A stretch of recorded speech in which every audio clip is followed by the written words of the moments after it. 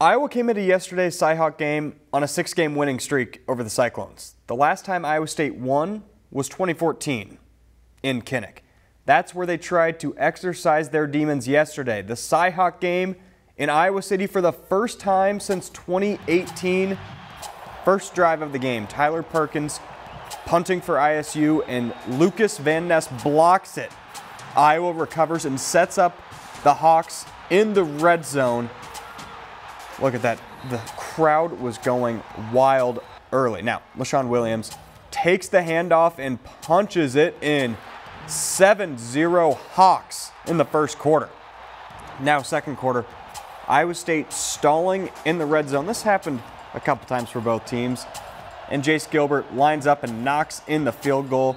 We go to half, 7-3, Iowa leads. Third quarter, Iowa knocking again. Leshon Williams takes another handoff. Looks like he scores, but the ball's knocked out at the goal line. Controversial call, but Iowa State recovers at the one, which leads to the drive. Iowa State marches all the way down the field, and Hunter Dekkers finds Xavier Hutchinson to cap off a 21 play, 99 yard drive to give the Cyclones a 10 7 lead. Five seconds left. Aaron Blom lines up from 48 out to try and tie it. The snap is good, the hold is good, but the kick is wide left, and Iowa State wins 10 7.